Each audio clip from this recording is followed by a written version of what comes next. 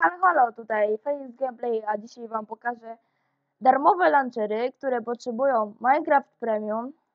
No i jest taka strona, że można sobie pobrać Technic Launcher Fit Debit, skrakowany akurat.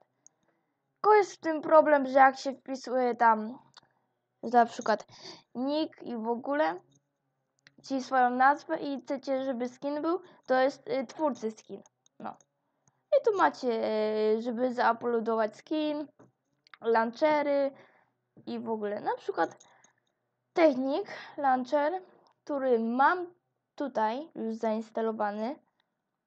Po prostu wchodzę.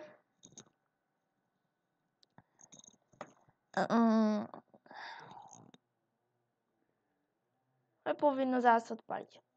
No.